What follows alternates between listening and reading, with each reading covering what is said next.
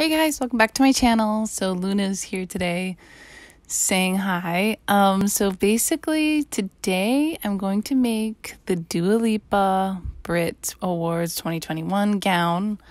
Um I just like fell in love with it when I saw it. It's so cool. And I just wanted to look up like how I'm gonna pattern it, you know, just based on the pictures. And I remembered this great pattern I have from Angela Clayton Costuming that had a really similar bodice. And it looks like the um, skirt is pretty simple. It's just like, and then it has some draping on it. So I'm like, you know what? I can make it. I'll make a really boned bodice. But I am gonna change the colors around a little bit just because I don't have this color silk and I have so much fabric. Right here you can see the original um, sketch, which I think is really cool from Vivienne Westwood, like 18th century, but I kind of feel like the bodice isn't 18th century, it's kind of earlier, kind of is more like late 1600s, but it has that like rock and roll cool feel and I thought I can make it. Here is another kind of similar dress that she had for the after party. So I looked at that too for like how to pattern it and stuff like that. Vivienne Westwood has done 18th century meets modern for a really long time, and I always loved her designs. I mean, they're so cool. How can you not? And they always have like a cool bodice that's really structured, and then just a kind of, you know, skirt that's billowy or something, making it more modern. And she's done multiple times in her career these really cool silhouettes and in different colors than you would expect and different um, styles.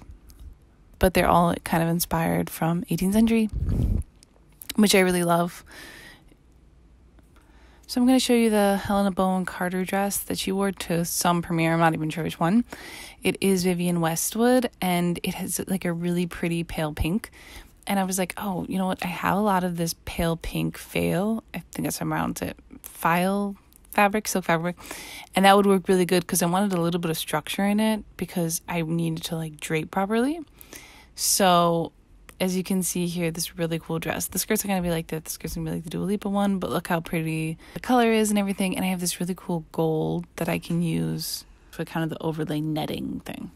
So here, so here is the pattern I was talking about. It's Angela Clayton costuming McCall's pattern. It's like this princess dress. I made it one time before, and it just has a lot of boning in the bodice, and I think it's perfect for this outfit.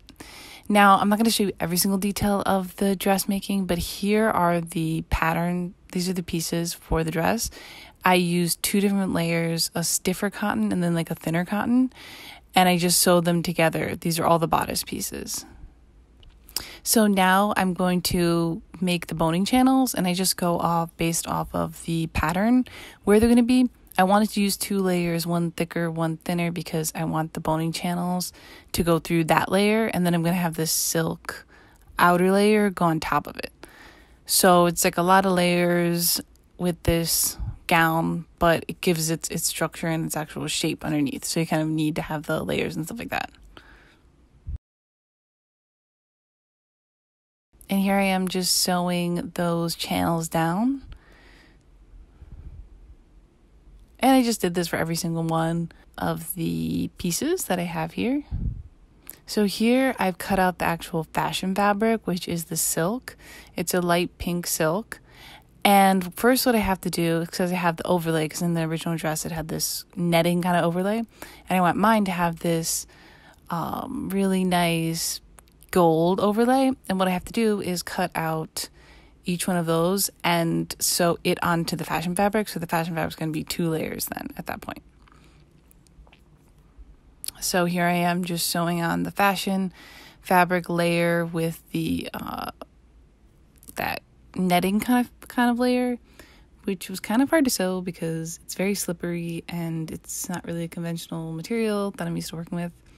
But I just went slow with it and used a really big stitch for basting you could hand base this too, but it's easy for you just to do it on the machine.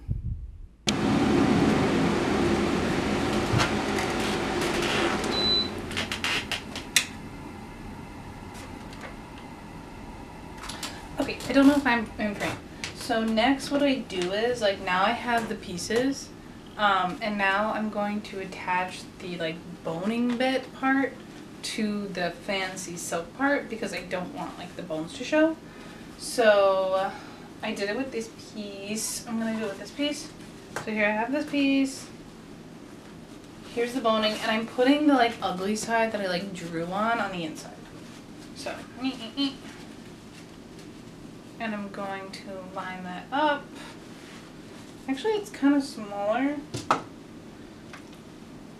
So, I'm going to basically sew this whole thing together and do that for every single piece, and then I'll have all the pieces ready. Also, do you like my hair? And my double piercing? So now I did it so like the little, the backs are connected to the fancy front now I'm going to actually start putting the pieces together. So this is the middle piece. Um, and I'm going to give myself quite a bit of, I think it was three quarters of an inch. Maybe I should cut this. Alright, I'm gonna, I'm gonna cut them to be the same size because right now, see how it's like off so I can't really tell. For some reason I cut this one really bigger. But anyway. Um, I'm going to cut them all so like they're the same size because like this one's bigger. Um, and then I'm going to put it all together um, to give get like the shell of it. Peace. And make sure to iron it. As you can see, I flatlined it, which means that I put all the pieces out. It just makes it easier to adjust it. Make sure to iron it out to get those seams looking really nice. Okay, so I made the shell. Now I'm gonna put the boning in.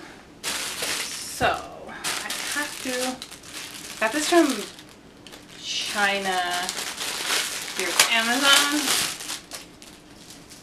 Um, so it was pretty cheap. Okay, so basically I'm gonna get the boning done. Do, do, do, so I have like a lot of channels I have to do. Um, and then with every piece of boning, I'm gonna burn the edges. Fire starter. Have you ever seen that movie, Stephen King? Kinda weird movie. Anyway, I'm gonna burn the edges just so it's no sharp edges. So I don't want it to like poke through the fabric.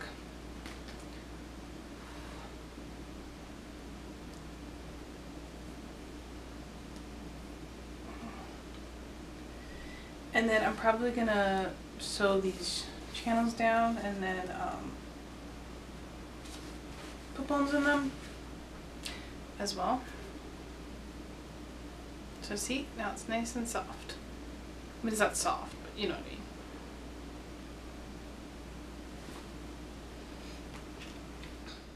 So now I'm just make putting those boning channels in, watching Fringe. Actually, no, no, I was watching, um, what's it called? Imposters on Netflix, which is a really good show. I would check it out. It's really funny, and it had a lot of twists and turns and was really good. So check it out. now the time has come to sew down these channels. And I just hand sew them because you can't really do it on the sewing machine. Otherwise, it's going to show on the other side, obviously. And I'm going to put in bones in those channels as well. So make sure it's like a nice stitch. I just used a whip stitch just to make sure it all goes down.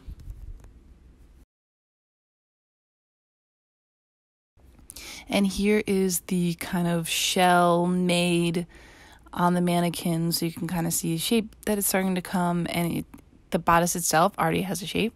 The only thing I have to do now is I mean I have to do other things, but the main thing I have to do now is create a pattern for the collar kind of bit.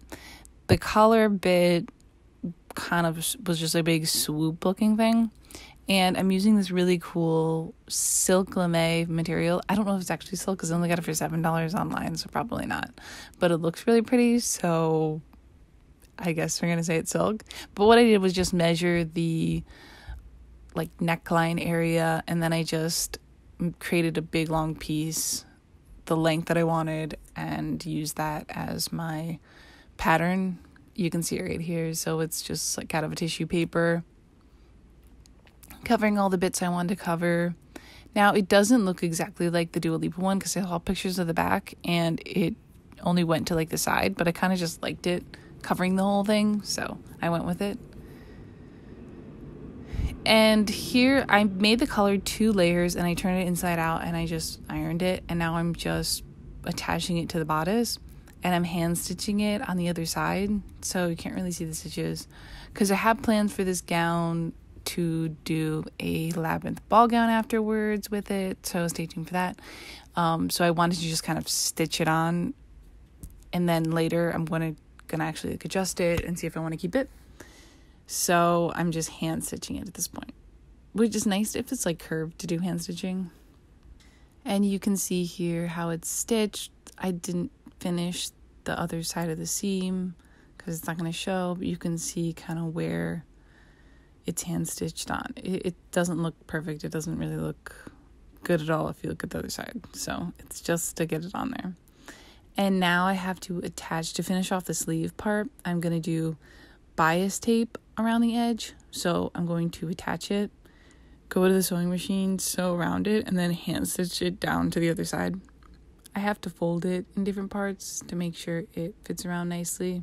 It's kind of a pain, but I, I like how it looks. Some people don't like how that looks, but I feel like it's an easy way to like finish an edge and make it look nice. And I got this bias tape from the store, just pre-sold, but you can make them. You can get these bias tape tools to make it yourself. And then I just hand sewed it down with whip stitch on the other side. Like you just fold it over and then you hand sew it. So I did that to the bottom and also the um, the armholes. Now I'm going to show you guys how I do the grommets. I decided to put grommets in just because it's kind of easier to sew it up and the hand eyelets take a long time. I basically use the awl, it's called, to make a big hole big enough to put the grommet in and I got this grommet tool. It's like a hammer one. You can get like a pliers one, but this is the one that was available at the store. It was like fifteen dollars from the craft store, basically. So it comes with this little wooden piece. You put the piece that has like the long part in the back where you want it to show. And then you put that little piece down. The piece that goes top is like the washer bit, and then the one that it has a round edge over top facing up, and then you hammer it down, and then it gives you a really nice finished grommet on both sides. So I just did that. I put them one and a half inches apart for a really nice looking finish. Depends on how you guys like it, like what you guys like in terms of look. Some people don't like the metal grommets. And now time for the skirt. I just based it off this old vintage pattern, just made a really simple underskirt because I knew based on the drawings, it's like a simple underskirt with kind of like a flap, making it asymmetrical. So here's the simple underskirt mock up that I'm going to use. And then I saw, you know, it was really short with a flap over top, and then it had like the draping. So that's kind of what I'm going for. So I if I make the simple skirt underneath and I just put little darts in it based off the pattern darts and put a zipper in. Now here's like the finished skirt. I'm not gonna show you everything about the skirt because it was really simple to make. Um, I just finished it off with some bias tape on the top. And I added the I had some leftover material from the bodice part that I'm gonna add to the top to kind of bring it together. And all I did was just whip stitch it down so I whip stitch this layer down. Because also you're not going to see the top of the skirt anyway because it's going to be under the bodice too. So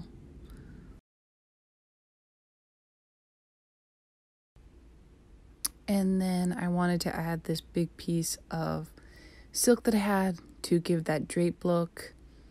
And I just kind of looked where I wanted to go and kind of draped it on there and whip stitched it on. I knew that I wanted some pleats in the back, so I did go to the sewing machine before I took this big piece there and just sewed the drape, the pleat part part, but the rest is draped on.